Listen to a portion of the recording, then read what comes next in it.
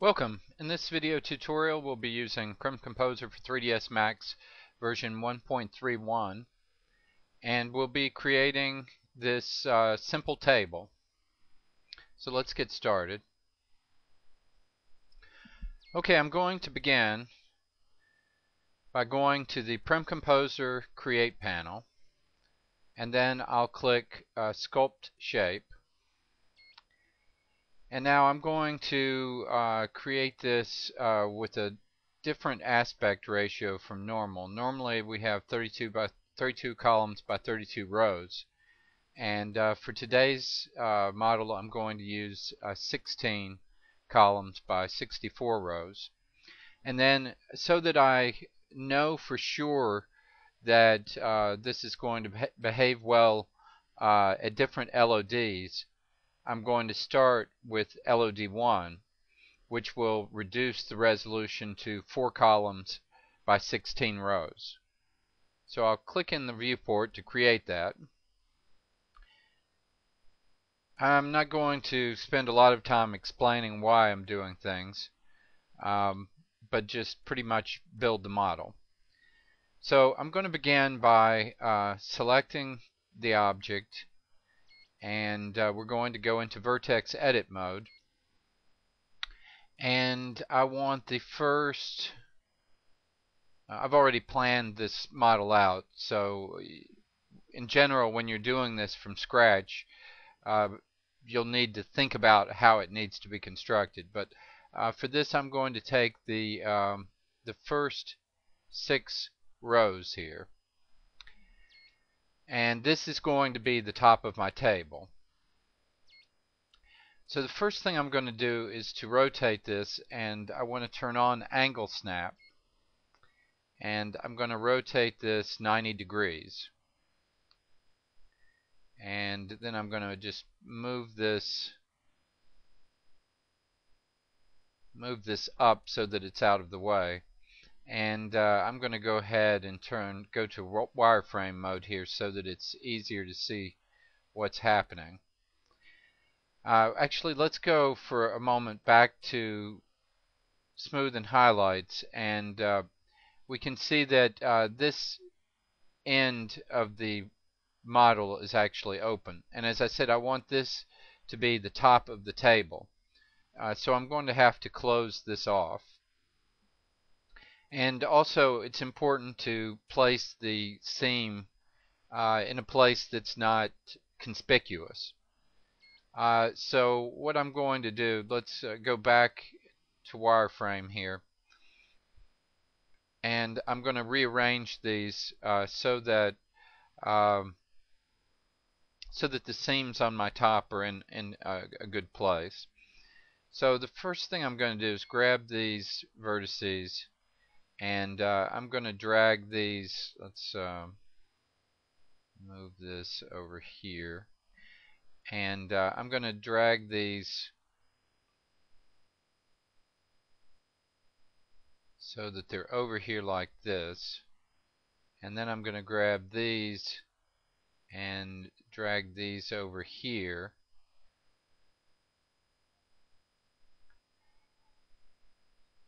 and then I'm going to grab all of this and move it down. And so I've created basically uh, my top now except that if we go back into smooth uh, mode here we can see that we still have this side that needs to be closed So what I want to do is to actually, I think what I'm going to do is to move these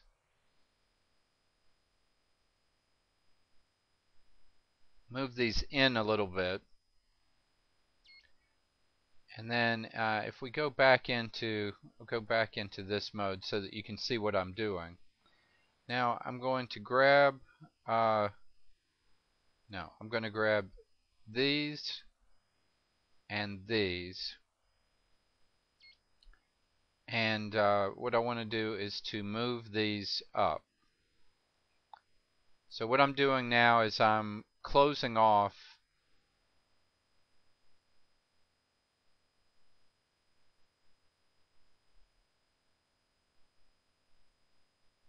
closing off this model and I'm going to just scale these in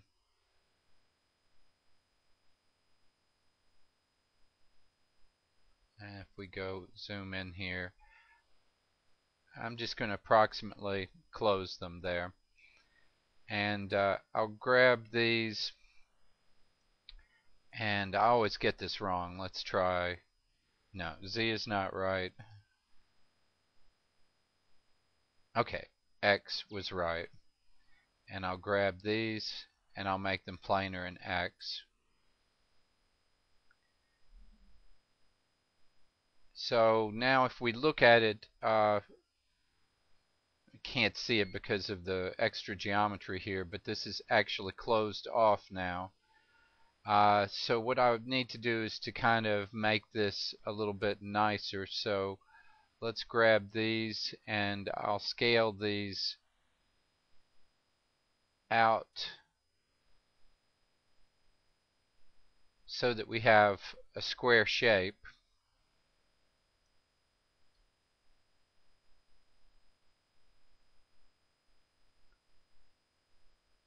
And now I want to, oops, let's undo that. I want to grab the whole thing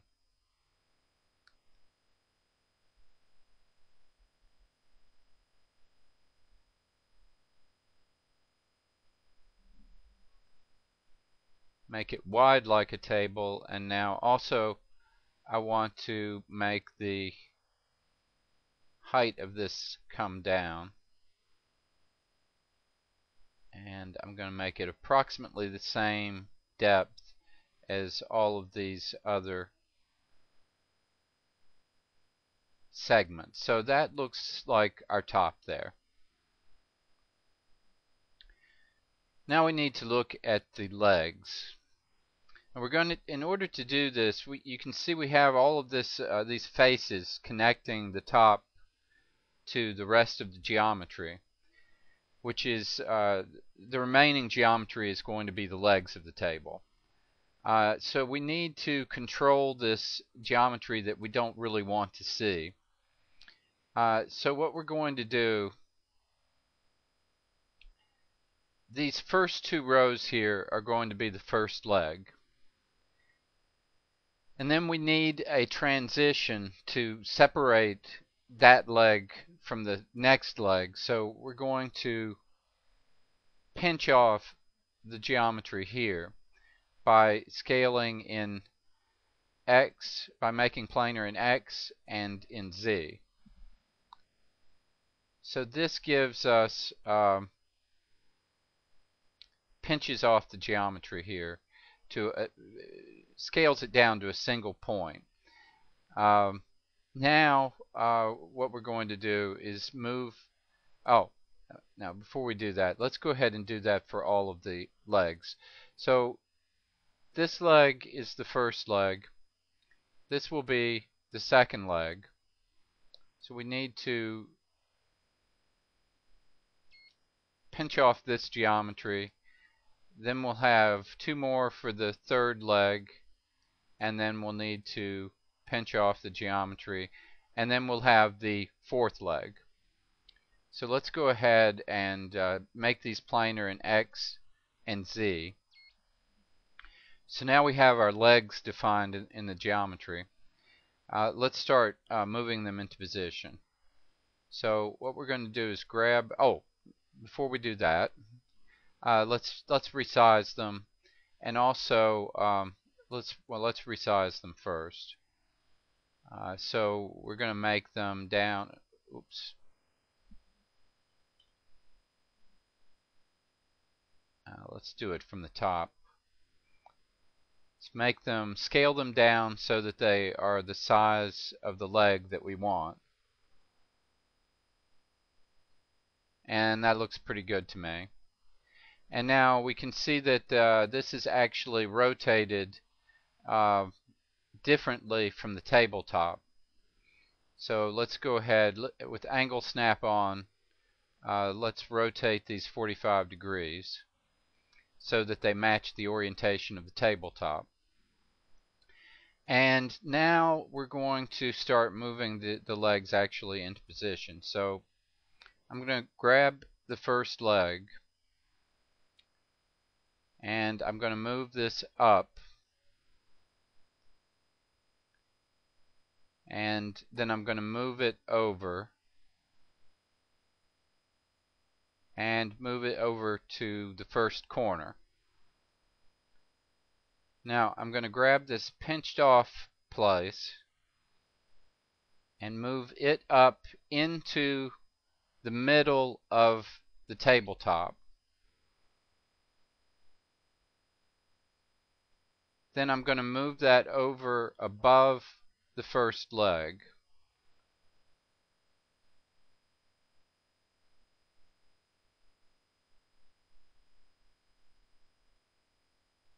Now, if we take a look at this quickly, we can see what we have here. We we have uh, this is the inside of the leg. So basically, I since the bottom of the leg is not uh, going to show, uh, I haven't bothered to actually close off the geometry here. But this is going down uh, from the side of the leg and then going down into um, the geometry is coming down the side of the leg and then it's going up into the tabletop and then we have more geometry coming out here so you'll see more uh, this will probably make more sense when we start putting the next leg into place so let's grab the next leg and we want to move this up and we want to move that leg into position. So I want to get this lined up.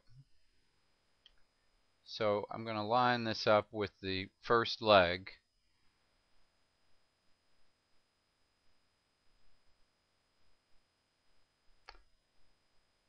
And then in the top view I'm going to move this over into another corner.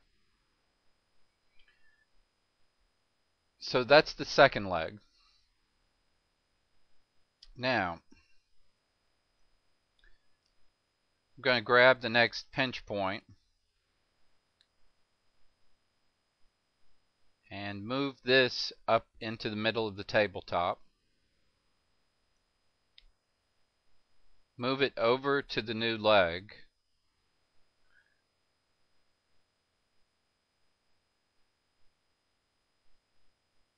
like so. Alright, that's two legs done. Let's uh, go on to the third leg now. We'll grab the third leg, drag it up.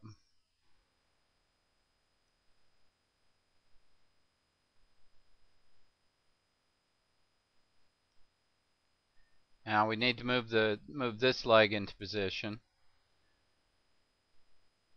Uh, I want this to line up as well. So let's go up close here.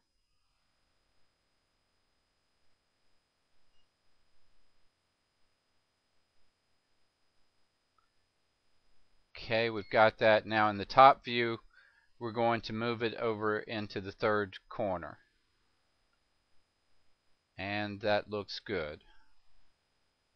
So now we want to grab the pinch point below that and move that up into the middle of the tabletop and then we want to move this over on top of that third leg. Okay, that looks pretty good. And now we're ready for the fourth leg. And we move that up. And then we want to move it over.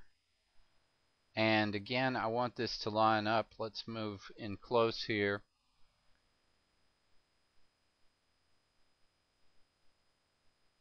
And we line it with that leg. Now let's check from the other side.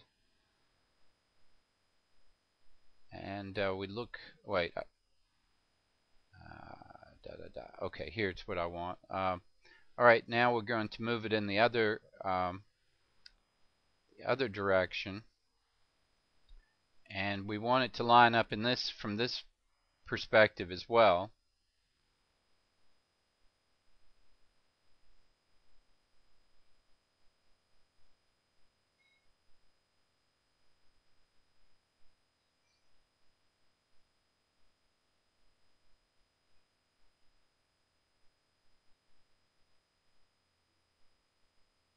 Ah, that's pretty good. Okay, let's zoom extents. Uh, now let's um, get out of this and zoom extent so that we can see the whole table now. So now we have our tabletop and our four legs. We just need to make the legs longer. Uh, so let's go back into vertex selection mode and we'll select the bottoms of the legs. Uh, let's um, let's make sure that these are planar. And then I'm going to drag these out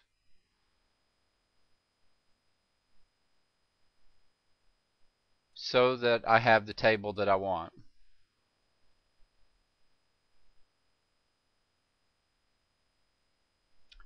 And that looks pretty good. Let's just take one quick look at the edges here.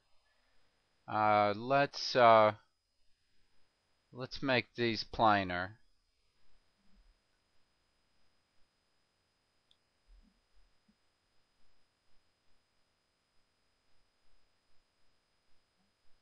Those look good. Okay, we've got some problems here. Let's make these planar. Oops, wrong. Let's try making them planar in Z. Okay, they're squared up. Let's look at the other edge of the table. And these need to be squared up, so we'll make them planar in Z. Okay, so looks like all of our edges on the tabletop are square now.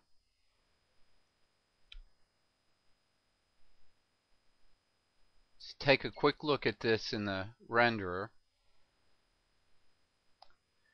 Looks good. So now we're ready to export this.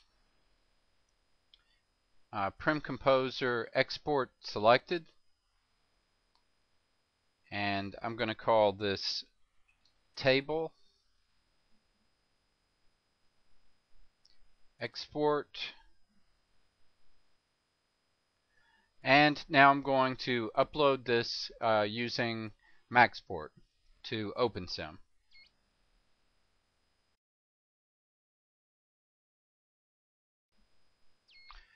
Okay, so I've now I've uploaded uh, the table project uh, using Maxport and it took uh, 28 seconds to upload.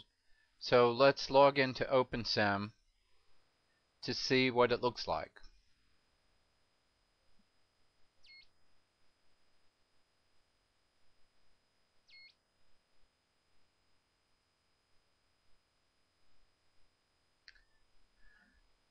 So now I'm I'm in OpenSim which is actually running on another machine on my home network and here uh, right above my avatar's head is the this is the table that we just created.